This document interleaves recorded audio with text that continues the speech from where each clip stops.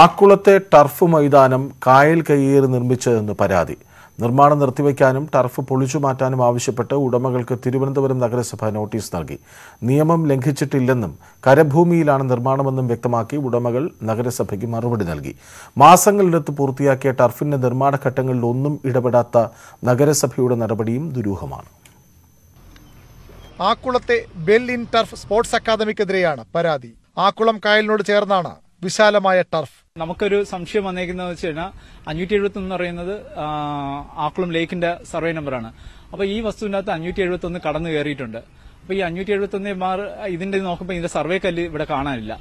കായലിന്റെ സ്വന്തമായിട്ട് സർവേ കല്ലില്ല. ഇപ്പം കിടക്കുന്ന വെച്ചേക്കുന്ന സർക്കാർ ഇട്ടേക്കുന്ന തെറ്റായ കല്ലാണ് ഇവിടെ കിടക്കുന്നത്. രണ്ടായിരത്തി ഇരുപത്തി മെയ് ലോക്ക്ഡൌണിന് ശേഷം ഇവിടെ ഇഷ്ടംപോലെ അനധികൃത കൺസ്ട്രക്ഷൻസ് വന്നിട്ടുണ്ട്. ഇവിടെയുള്ള പ്രശ്നം എന്ന് വെച്ച് കഴിഞ്ഞാൽ ഒരു മൂന്ന് മൂന്ന് പോലീസ് സ്റ്റേഷൻ രണ്ട് വില്ലേജ് രണ്ട് സോണൽ ഓഫീസ് അങ്ങനെ ഒരു തർക്കങ്ങളുള്ള പ്രദേശമാണ്. അപ്പോൾ പലപ്പോഴും ഒരു വയലേഷൻ നടന്നു കഴിഞ്ഞാൽ ഇത് ചെയ്യില്ല അപ്പോൾ അവർ ഓരോരുത്തരും അവരുടെ എവരുടെ എന്ന് പറഞ്ഞ് മാറിപ്പോകുന്നതാണ് ഈ കൺസ്ട്രക്ഷൻ പുറത്തു വരാതെ പോയത്. പരാതിക്കാരന്റെയും നഗരസഭയുടെയും ആരോപണങ്ങൾ ബെല്ലിൻ ടർഫ് ഉടമകൾ നിഷേധിക്കുന്നു. ഈ സ്ഥലം നമ്മുടെ റെക്കോർഡ്സിലെല്ലാം പെരേഡമാണെന്നാണ് രേഖപ്പെടുത്തിയിരിക്കുന്നത്. ഇത് നമ്മൾ രണ്ടായിരത്തി മൂന്നിൽ വാങ്ങുന്ന വാങ്ങുന്ന പെരേഡമാണ് അപ്പൊ അപ്പം മുതൽ ഇത് കരഭൂമി തന്നെയാണ്. അത് പുള്ളിയുടെ കിട്ടിയ റിപ്പോർട്ടിൽ ഫൈവ് സെവന്റി വൺ കായലാണ്. അപ്പോൾ ഈ ഫൈവ് സെവന്റി വണ്ണിൽ തന്നെ പല ഡിവിഷനുകളുണ്ട്.